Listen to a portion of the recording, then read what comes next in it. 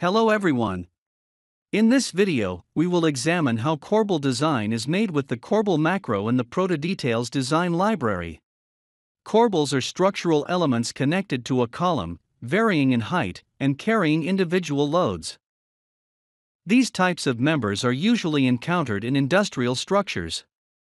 Corbels are important in industrial buildings, which usually support heavy duty crane beams and prefabricated frame girders. You can see the corbel usage areas in the examples. Corbels can be either single sided or double sided.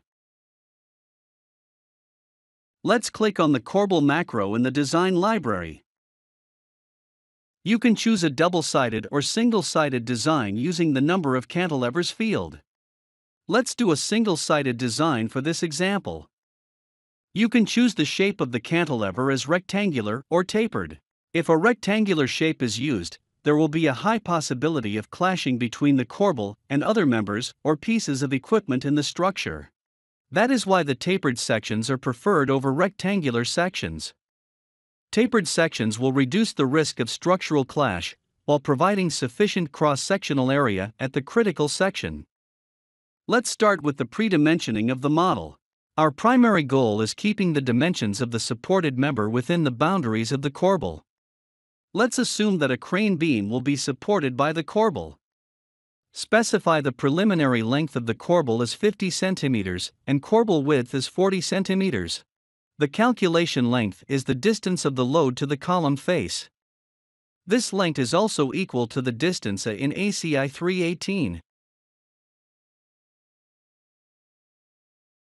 Let's define the first corbel top height as 50 cm and the bottom height 20 cm.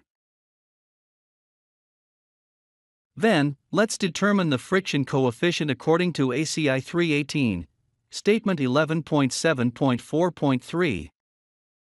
Now, let's define the section properties of the column that the corbel is connected.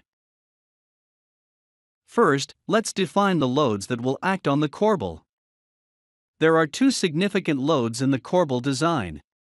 The main load is acting vertically and it governs bending and shear design. The horizontal load is used in the shear calculation.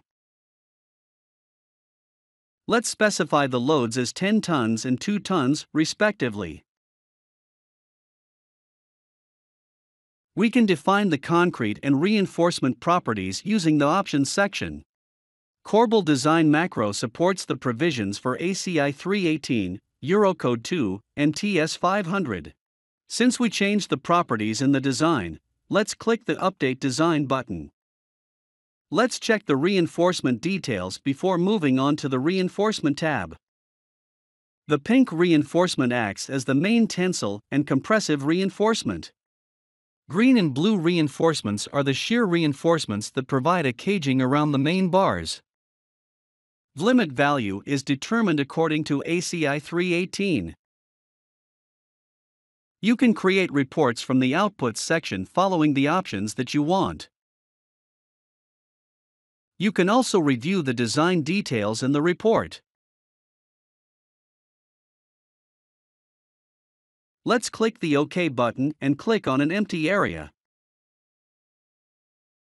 As you can see, the detail drawing and quantity takeoff is created automatically with all the rebar types that we mentioned.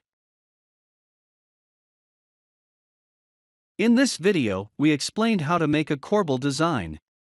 We will continue our designs in the other videos.